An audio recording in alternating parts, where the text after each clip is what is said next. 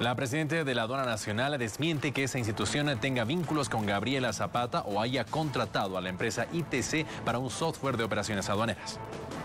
Carlos Valverde en su programa Todo por Hoy denunció que Gabriela Zapata estaba ligada al gobierno antes de pertenecer a la empresa china CAMC. Denuncia que Zapata tenía influencia en la aduana, el Banco Unión y Comibol. La aduana nacional de Bolivia desmiente haber trabajado o haber firmado algún contrato con la empresa ITC de Gabriela Zapata. Nosotros rechazamos la nota de ITC.